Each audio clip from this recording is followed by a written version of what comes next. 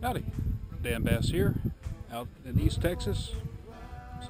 Beautiful East Texas November. Uh, we're having some issues with our Ford 5000 series.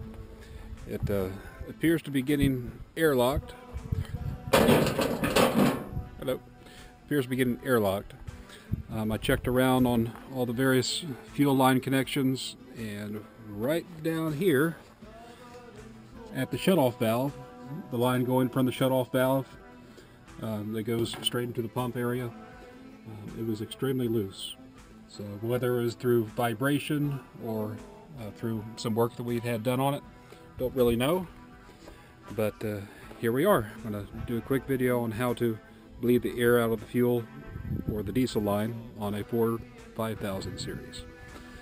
Okay, so let me show you the points that we're going to have to loosen when I get it cranked. Um, I put a battery jumper on it because uh, when it stopped running, I kept on trying to get it started and drain the battery down. So that'll get the battery going again. And uh, we're going to turn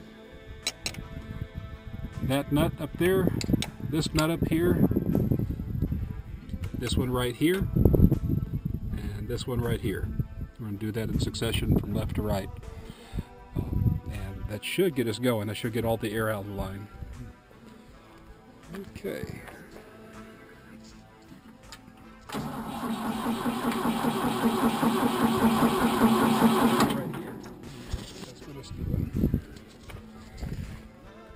So bring it back down here.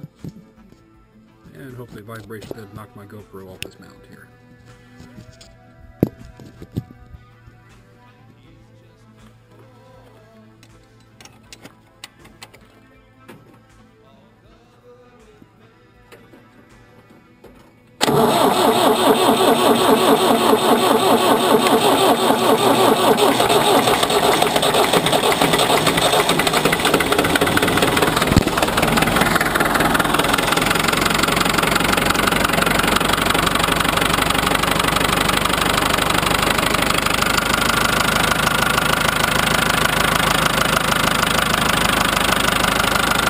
Bubbles coming out?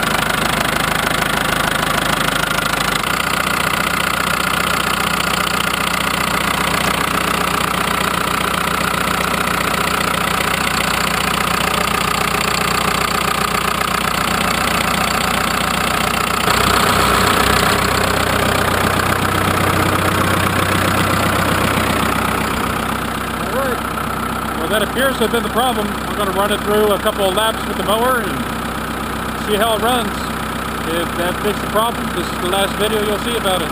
Alrighty. Alright. Tractor for about a 30-40 minute ride. Use the brush hog pretty much the whole time. And uh, use the hydraulics with the front end loader.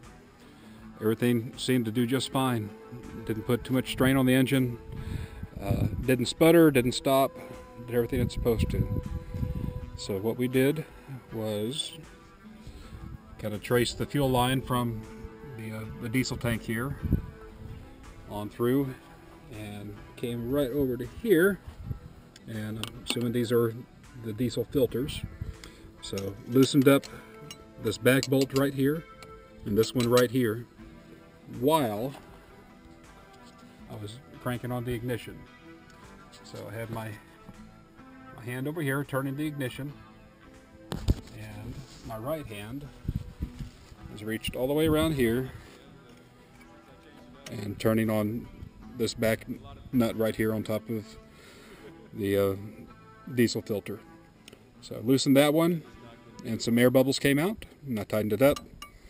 And then when I loosened this one, a bunch of air bubbles came out and that's when the engine turned over. So while you're doing that over here,